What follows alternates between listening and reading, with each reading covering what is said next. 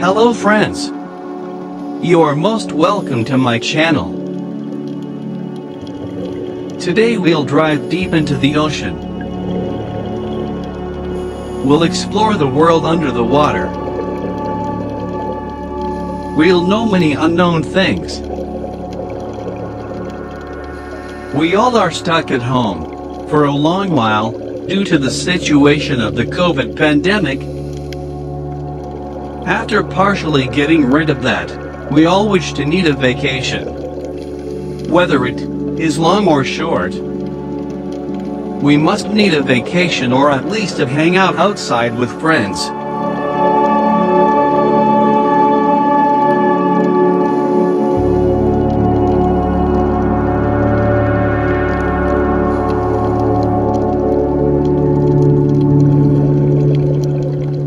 You are a travel lover and travel a lot.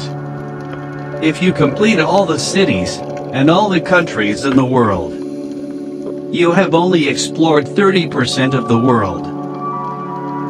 Yes, the world is 70% covered by water. And this 70% is a different world. This world has trillions of species, some of them are known and most of them are unknown.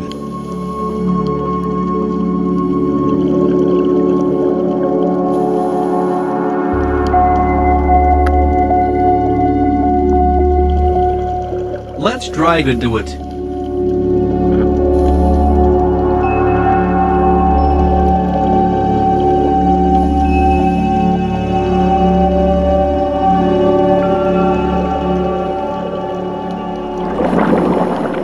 The ocean is so deep. In some places, it's more than 11,000 meters below the surface. But most of the fishes and other species found in the first 200 meters close to the surface. This 200 meters has lights and oxygen availability. Trillions and trillions of single-celled algae and bacteria make up the foundation of the ocean ecosystem. They are consumed by bigger plankton, and other species consume them for their life.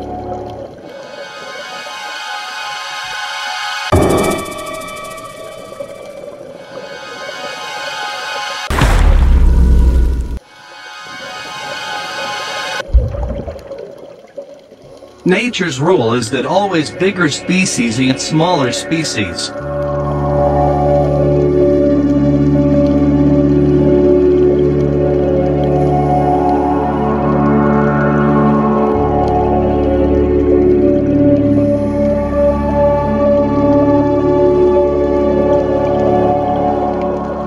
If we drive deeper than 200 meters from the surface the light is darker. This surface is called the surface of the moon. This surface seems to be endless open water.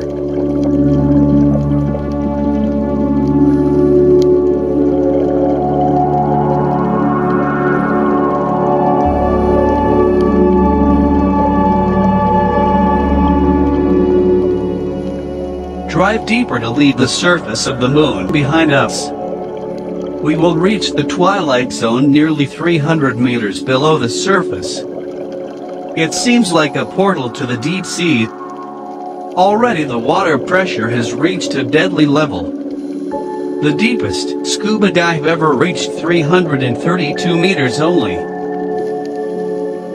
If I try to explain the water pressure at that point into the ocean I can tell that he feels 200 cars on top of him.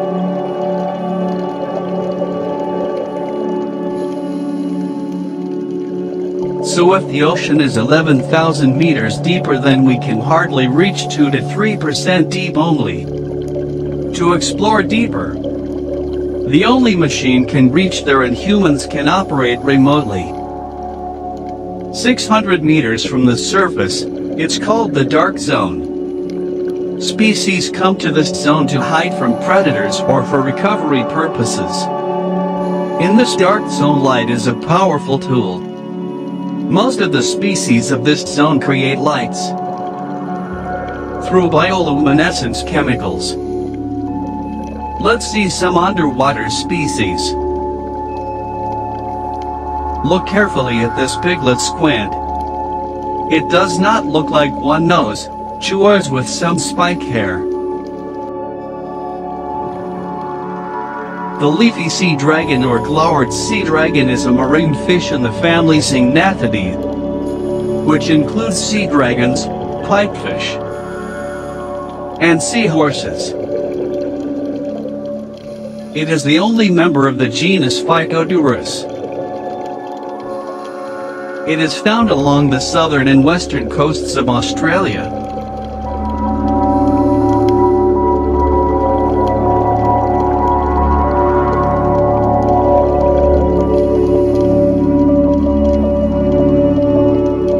This coral looks like a tree.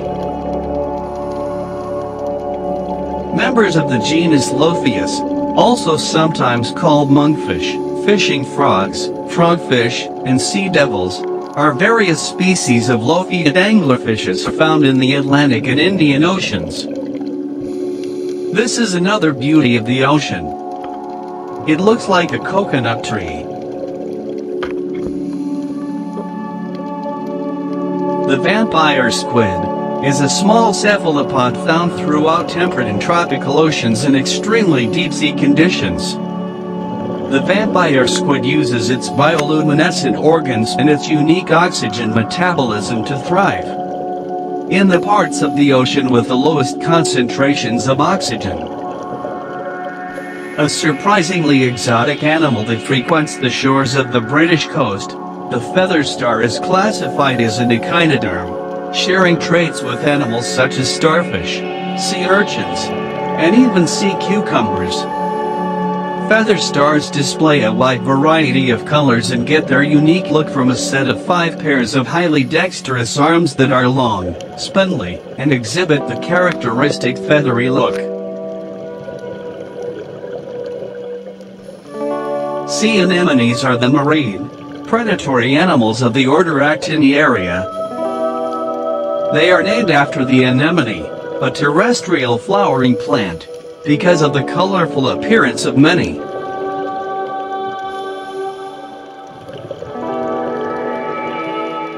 This is a white squid. Looks like a sea ghost.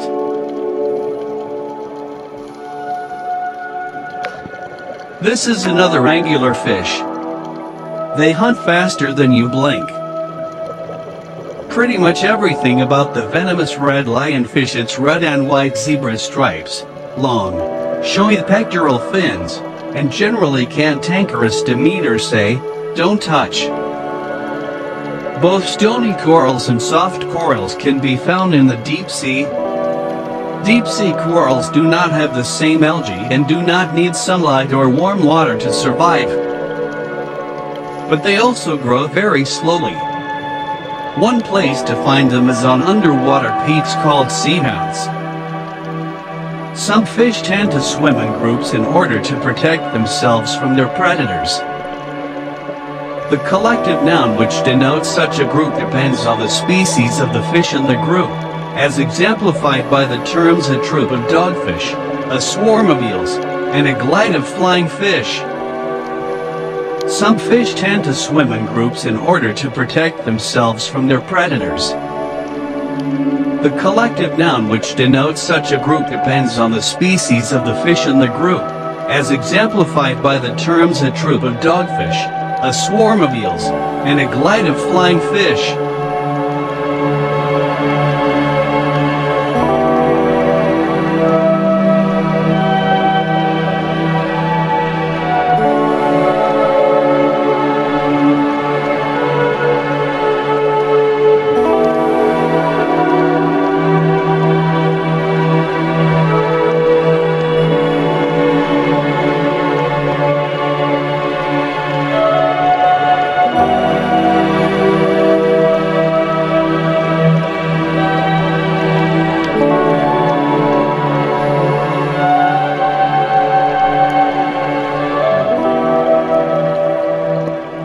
Feather stars are crinoids which are marine animals, wandering around and passing food into their mouths which are on top and the center of all those arms.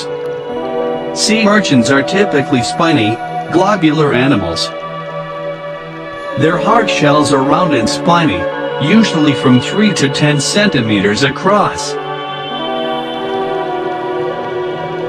Triggerfish, the 40 species of triggerfish are scattered throughout the world's seas and are familiar to divers and aquarium aficionados. Largest of all is the stone triggerfish, which reaches up to 3.3 feet long, found in the eastern Pacific from Mexico to Chile.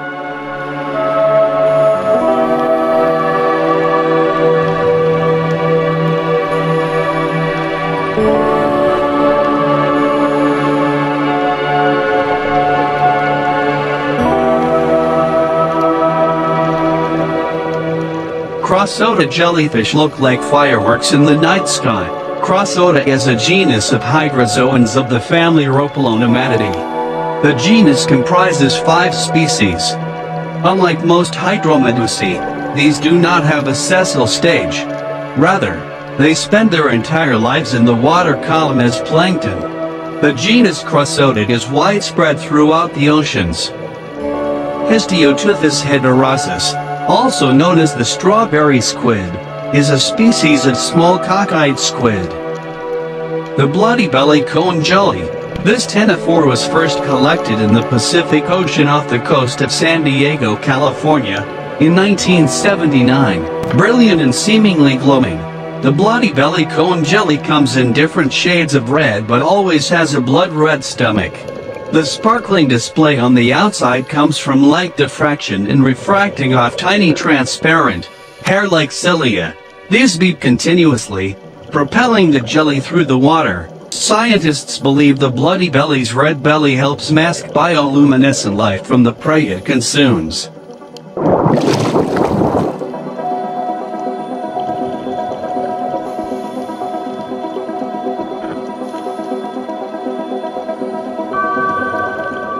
Fish can better defend their territory in a group.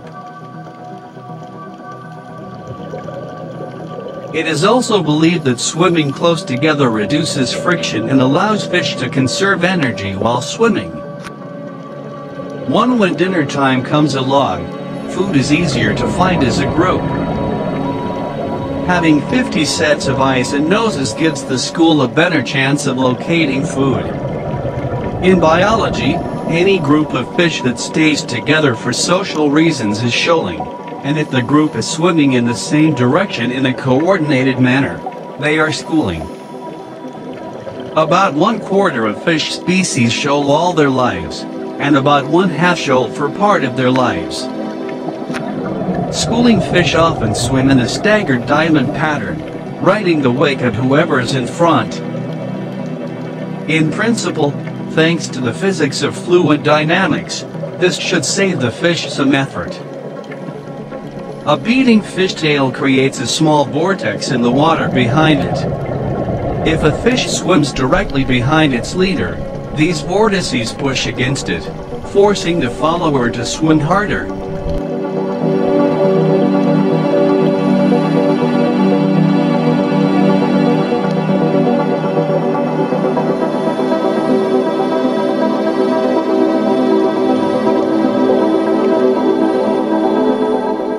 Amphioctopus marginatus, also known as the coconut octopus and veined octopus, is a medium-sized cephalopod belonging to the genus Amphioctopus.